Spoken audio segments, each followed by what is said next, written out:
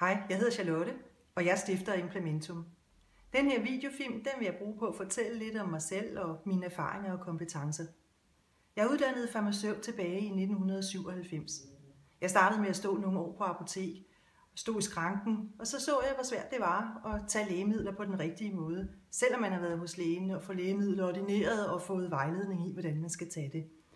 Og så blev jeg nysgerrig. Nysgerrig på compliance-problematikken. For hvis det var så svært at håndtere lægemidler til sig selv, hvordan må det så ikke være, hvis man skulle håndtere det for andre? Så jeg startede på at arbejde med medicinhåndtering på alle mulige måder. Jeg har kompetenceudviklet forskellige målgrupper. Jeg har arbejdet med implementering af korrekt medicinhåndtering, lavet redskaber, som skulle understøtte den korrekte medicinhåndtering, arbejdet med forebyggelse af utilsigtede hændelser og patientsikkerhed i det hele taget, kvalitetssikring af medicinhåndtering, for bare at nævne nogle af tingene. Man kan også arbejde med medicinhåndtering i forhold til at understøtte det rehabiliterende arbejde eller forebyggelse af indlæggelser og genindlæggelser. Der er rigtig mange muligheder.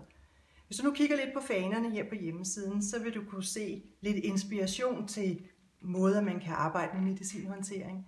Du kan også give mig et ring, så kan vi tale om det, så kan vi mødes i det virkelige liv.